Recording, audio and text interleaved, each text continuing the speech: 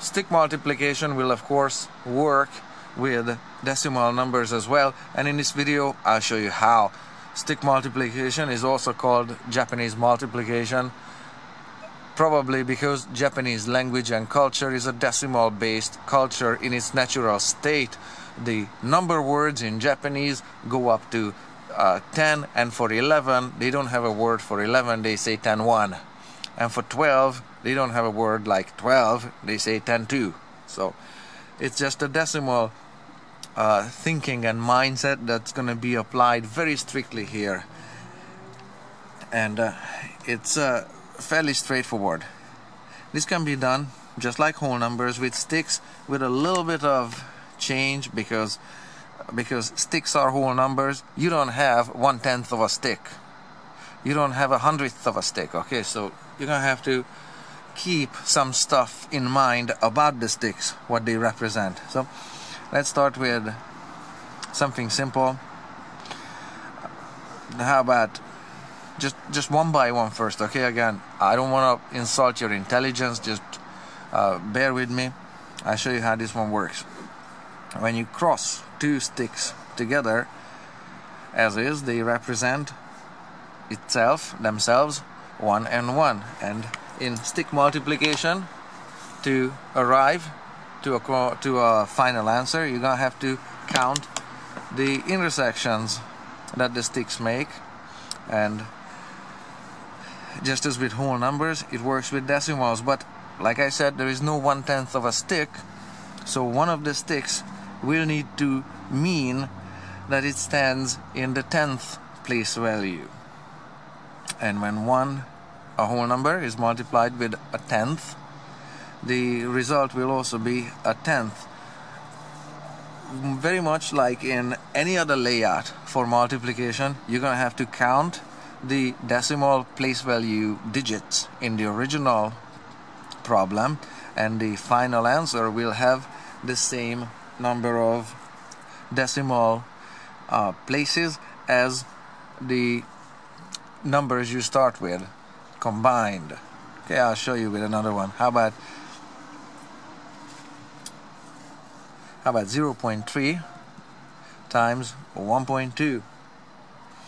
Now, you don't have 0.3 sticks, what you can do is 3 sticks. And it doesn't matter which way you lay down the sticks and which directions they run, as long as you keep their decimal or place value in mind, and that's absolutely critical. So there's 3 sticks that way. And all of these will be uh, in the 10th place value. 1.2 sticks will be represented as 1 point two. I don't have 0.2 sticks. I can only do this. So, but this one is in the ones place value, and these two sticks are in the tenth place value. And when we calculate the answer, this has to be kept in mind. We have three intersections here. One, two, three.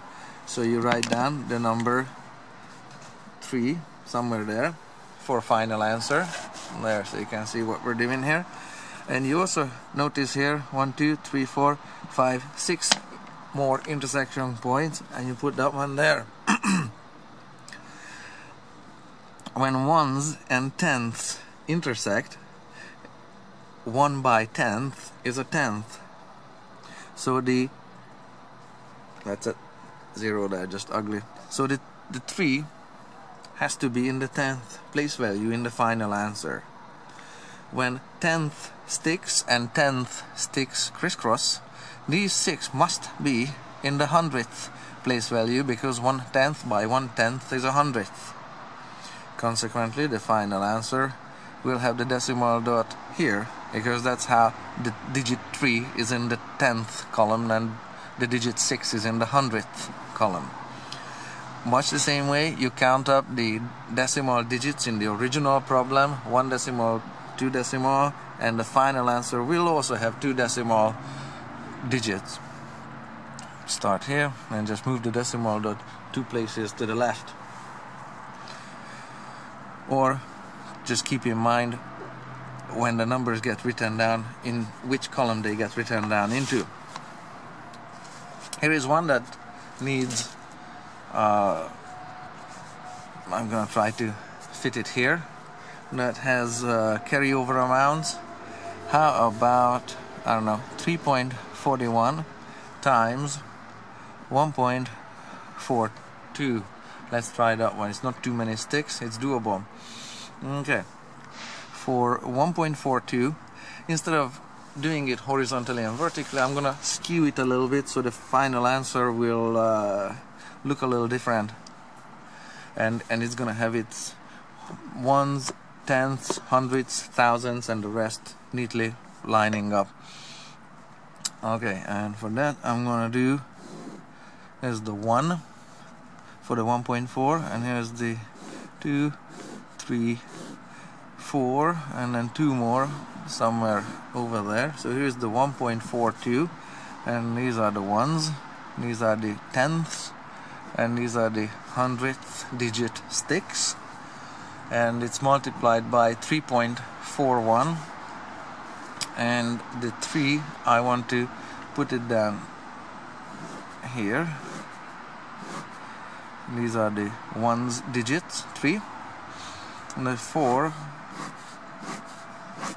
goes here. These are the 10th digits. And then the 1 goes there just making sure everything is there.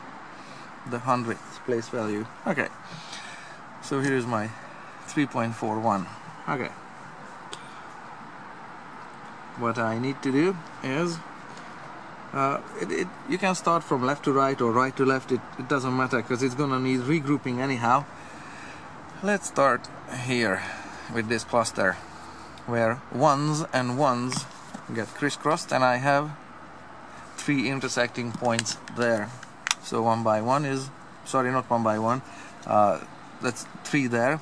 And for place value wise one by one is one and I know that this is gonna be in the ones column and I might as well just put the decimal dot there because it's gonna stay there. The next cluster here is this one here where tenths crisscross with ones so their place value is a tenth.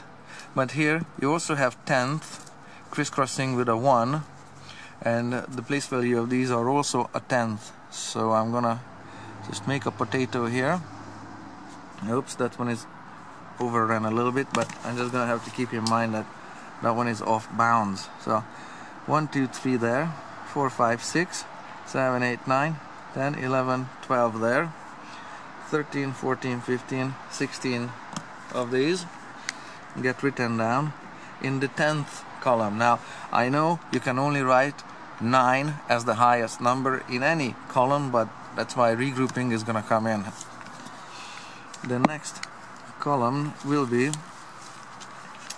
the 100th there crisscrossing with the ones and I know that their place value will be a hundredth.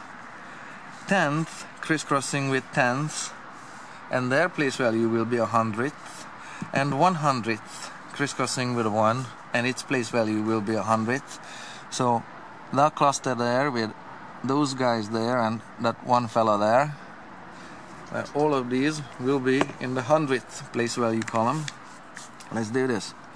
1 2 3 4 5 6 7 8 9 10 11 12 13 14 15 16 17 18 19 20 21 22 23 of these guys. Just write it down in the hundredth column for now. The next one is this cluster here. Hundredth are crisscrossing tenths so hundreds and tens make thousandths so that's your next place value column for thousandth and those ones I'm just checking tenths are crisscrossing thousandth so those guys need to be counted up with those dudes for the next place value column here. 1 2 3 4 5 6 7 8 9 10 11 12 of these. And lastly those ones there those two guys are in the 10,000th column. And we just leave them there. This is the column for 10,000th let me see. One more zero. Okay. Out of this we need to make a normal number that looks like uh, correct with its place values. So 2 stays there as is. Out of this 12 the 1 has to be carried over into the next place value column. So just write down that 2 that stays there. And that 1 gets added to 23 that makes 24 I can write down plus 1 because that's the one that gets added 24 and instead of 24 I just write down the 4 because the 2 carries over to that column there where it gets added to the 16 that's already there. So that's gonna be 18 but I'm not writing down the 1 because that one needs to be added to the ones column. So my final answer is 4.8422 for multiplying 3.41 with 1.42 let's see if it works on a calculator. 3.41 times 1.42 equals 4.8422 and I have 4.8422 I guess we're doing fine here. Lastly as a shortcut you can just count the number of decimal places in the problem there and there. That's two decimal places there and two there. So when you have all the decimal digits you start at the end. One two three four you put the decimal dot there. Because that's a that's a shortcut for placing the decimal dots. So that's how you do decimal numbers when it comes to stick multiplication. Practice it. This is fun